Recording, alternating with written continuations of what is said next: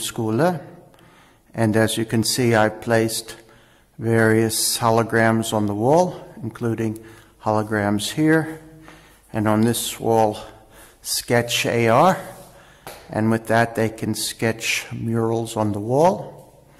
As we pan around and go into the laboratory, you can see here I have Lifeliqe HoloLens app. So students can uh, download any um, model they wish in science. Um, it's an excellent app. Here on this wall, I have wheel replacement trainer, which teaches them how to replace wheels on cars, holograms. Here we have this interesting man, and we'll just start him. Okay, there he is, and he looks pretty realistic. Look at that. As we look down the darkened hallway, we have holo elements, which is for the periodic table. We have a guy over here, and let's see what happens. He starts dancing. Look at that. That's pretty cool. When we go inside the classroom, here you can see I've placed Lifeliqe, HoloLens, uh, the science models on the board so they're accessible. And more holograms over there.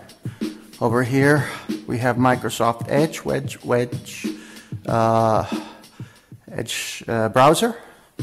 Here we have MyLab, which is really cool. If I press on MyLab, then in the laboratory, let's see what happens. We should get up the periodic table. I'll just start that again.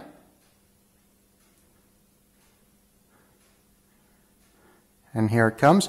Behind it, you have the uh, another periodic table. This is a much more, and here we go. So here in the classroom, we have a much more lively periodic table. If I press on hydrogen, there you see the model, hydrogen, lithium, right beneath, there's lithium. You see lithium is in the first group, so it has one electron in the outermost shell.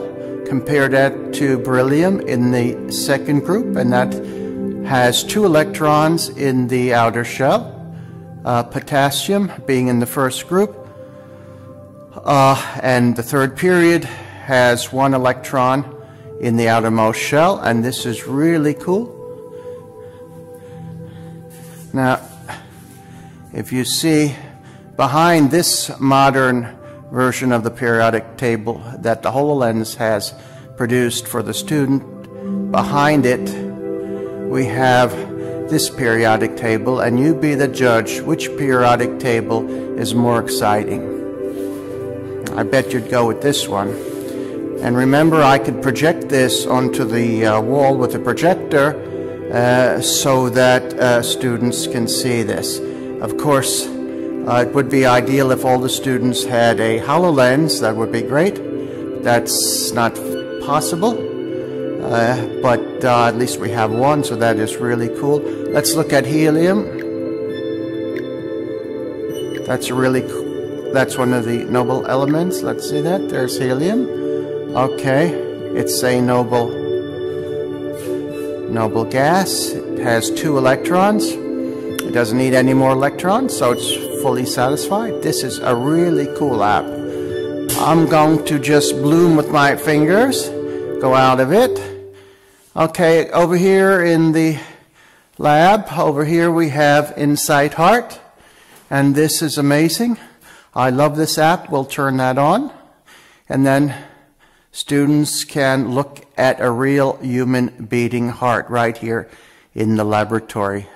This is super. Let's take a look at this It takes a couple of seconds to load. I am not on the internet. So what's nice is this shows that here in the laboratory, one, I'm, I'm, able to use the HoloLens without an internet connection. 80 beats per minute. A normal heart Voice commands, make bigger. Heartbeats per minute in resting adults. Bradycardia is, per definition, open heart, and tachycardia above 100 beats Look at that. That's amazing. Open heart.